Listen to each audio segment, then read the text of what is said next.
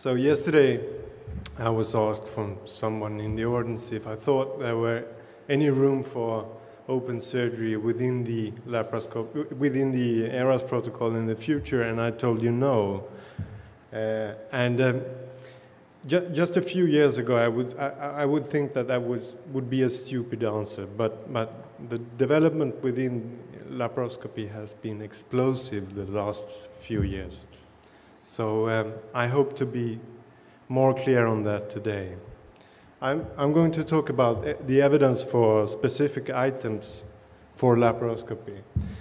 But the truth is, uh, the ERAS protocol is designed for open surgery, so that there is not many evidence for the items uh, for laparoscopy. And, and do, we don't know if we can translate the data on open surgery to laparoscopic surgery, but I try, I will try to, to explain some of these problems today. So let's go back to the 90s. Uh, this slide you, you saw yesterday, where we had a situation with, uh, uh, uh, with colorectal surgery that is major surgery with uh, great risk of complications and we had no perioperative protocols, and mainly we did open surgery uh, with an uh, enhanced risk for surgical stress and complications. And there were two parallel solutions uh, on that problem, and the first one was the enhanced recovery after surgery protocol, mainly practiced in the Scandinavian countries and the Netherlands. And then there were uh, laparoscopic surgery, of course, uh, mainly practiced in, in the United States, France, and Germany. And of course, there were some cooperations between all, uh, these two solutions. For example, uh, early food after surgery and early mobilization was initiated uh, by the laparoscopic surgeons and then adopted into the ERAS protocol. Uh, if we look at the evidence on both these uh, parallel solutions and start with the ERAS protocol, we talked about that yesterday. Uh, the amazing results from the, the Danish study in, in, the year of 2000 that nobody really could believe was true. Uh, but these results were verified in, in several uh, coming studies within the ERAS uh, research field uh, here you can see a, a, huge difference between length of stay in, in traditional surgery and fast-track surgery in the early results. Today, traditional uh, surgery results are, are much better than before because some of the items are, are actually used in the so-called so traditional perioperative protocol. But still we have a, a risk reduction for 50% and a 2.5 to 3 days shorter length of stay compared to traditional surgery. Uh, looking into the evidence for uh, laparoscopy, uh, you would be surprised that uh, good quality randomized controlled trials with low risk of bias are surprisingly few.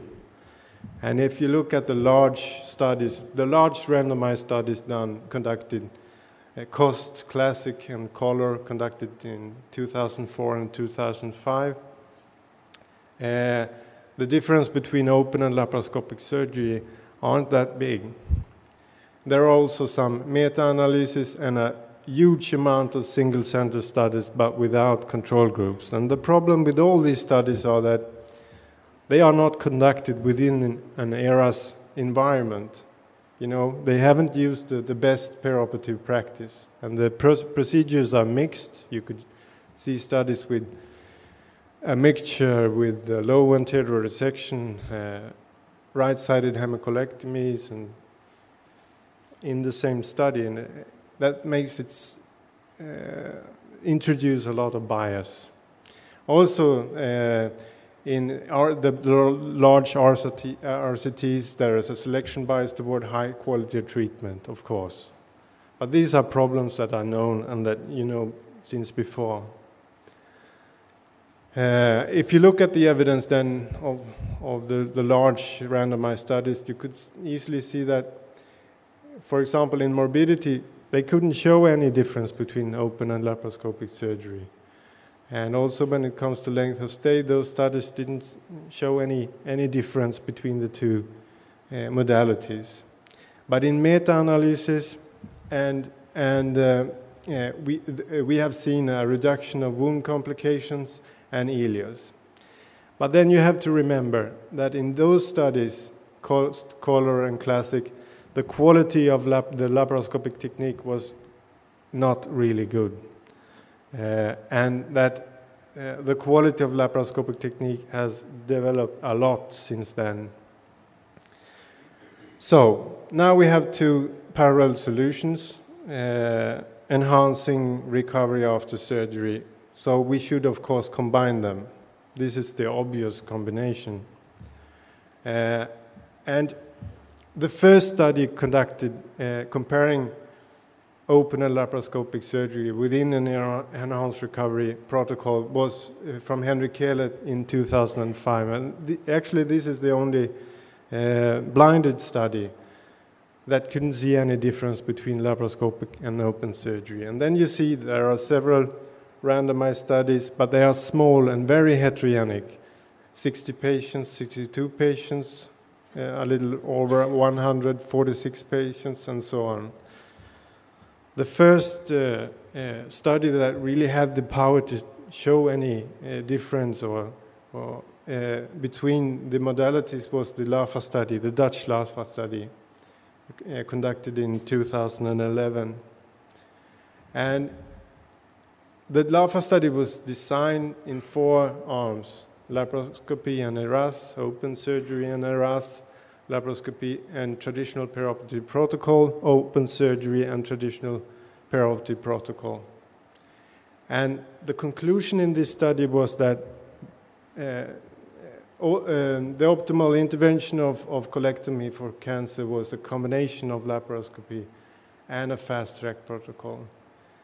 They could see uh, independent predictors of outcome was that, that it was laparoscopic surgery, female sex, early food, and early mobilization after surgery.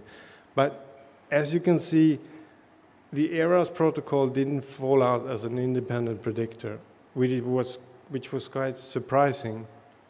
But then look at the top there.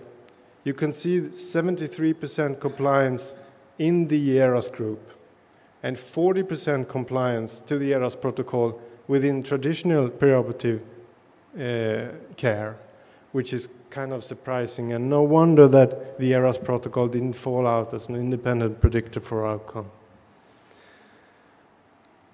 So, uh, there is one more study uh, comparing the two modalities uh, within the uh, within uh, open and, and, laparoscopic surgery within an ERAS protocol, and that is the ENROL study that is supposed to be closed now. And I, heard, I heard some rumors, there are no results yet, but I heard some rumors that, that there seems to be two days shorter length of stay uh, from laparoscopic to, uh, compared to open surgery.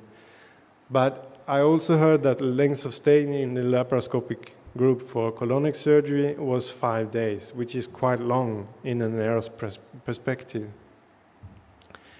So, in conclusion uh, of evidence, uh, we are looking at the evidence slide that I showed yesterday. Again, we could see that there are moderate, a moderate level of evidence in favor for laparoscopic surgery. Um, but does that really matter? I mean, is there a lack of ev ev evidence in favor for laparoscopic surgery? Both yes and no. Uh, but, you know, laparoscopy is an established surgical method now. And I think the era for randomized studies between laparoscopic and open surgery is over.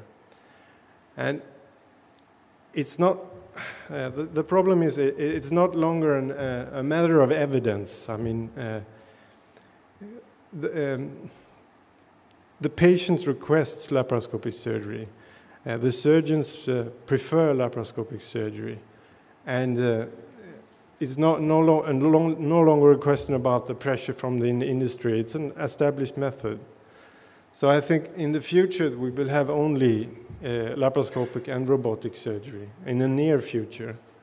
Uh, and the, the, the, the, future will, will look into the to comparing laparoscopic versus robot, I think, rather than laparoscopic or robot versus open surgery.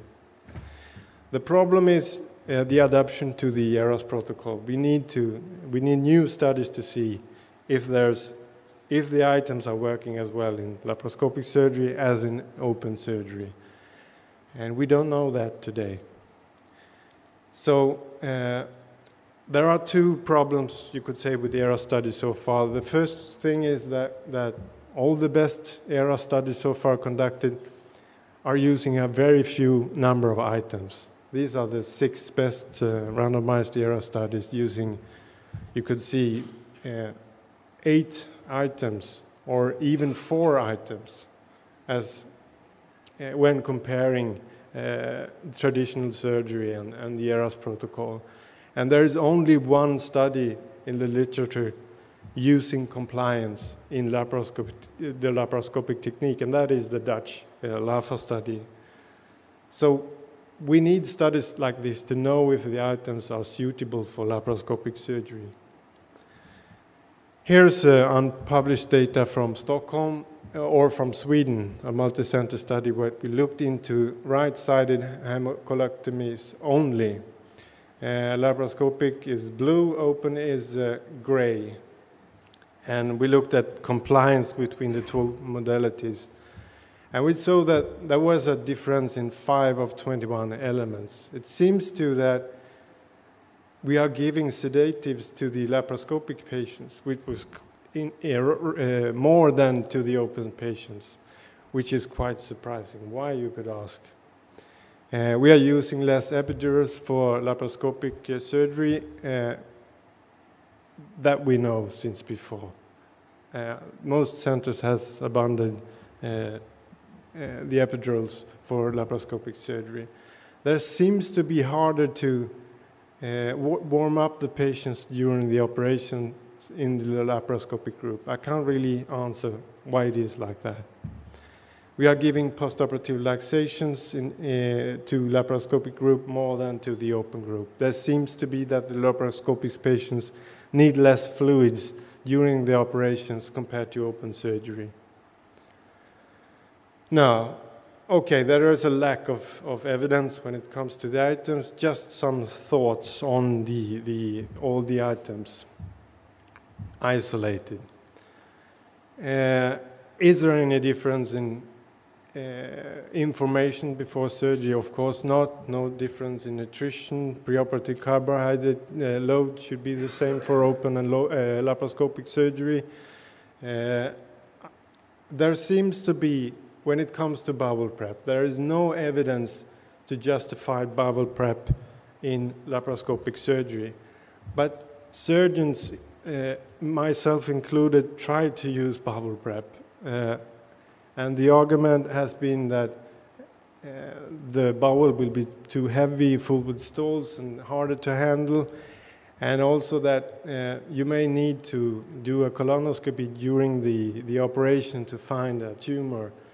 But on the other hand, it should be as easy just to tattoo the, the bubble before surgery. So that is a question that has to be debated. Another question has been optimization before surgery. Some surgeons have said that if the patients had previous surgery, abdominal surgery, should use the open technique. But nowadays, I don't think that this is a problem anymore. Uh, we are uh, operating uh, patients with previous surgery with the laparoscopic technique. Heart failure or venous return has been another question uh, through year, the years, but I don't think that's, uh, that is any problem anymore. Uh, when it comes to the perioperative items, there are some difficulties to warm up the patient during the operation. I don't know if there's, because of how the patients uh, lay on the operation uh, table or if it's the gas that is uh, down the patients during the operation or not. We have heard a lot about goal-directed fluids. You know, there's a weak spot in the, the ERAS protocol or the ERAS database, and that is we have a cutoff line for 3.5 liters for rectal surgery and 3 liters for, for colonic surgery uh, as being compliant to the, the, the, protocol. But that is a really old-fashioned kind of uh, thing to, to think. Uh, epidurals, of course, we don't use epidural uh, in laparoscopic surgery anymore, although the evidence are, are quite weak so far. We are using spinal technique or abdominal wall neural blocks. When it comes, to postoperative items, no difference. You could argue that, I mean, one of the, the, the main gain thing about uh, uh, epidurals was that we could make an early mobilization of the patients. If we now are not using the epidurals in laparoscopic surgery, and let's say they get converted, uh, how, how about the mobilization? Okay, this is the last slide. I think, I mean, laparoscopic surgery and robotic surgery is actually the same operation. It's the same kind of surgery, but it seems that the learning curve for robotic surgery is much shorter than for laparoscopic surgery. And then the overall quality of uh, minimal invasive surgery will be much higher, higher quality on more hands. So I, I really think this is the future, and, and, and the diagnostic possibilities with the, the robot are fantastic with robotic surgery. And I think that before I get retired, you will just put the patients in, in an MRI, and then you will dock on the robot and you push, push the start button. And then you have a coffee and focus at, at enhanced recovery. That's the future. Thank you.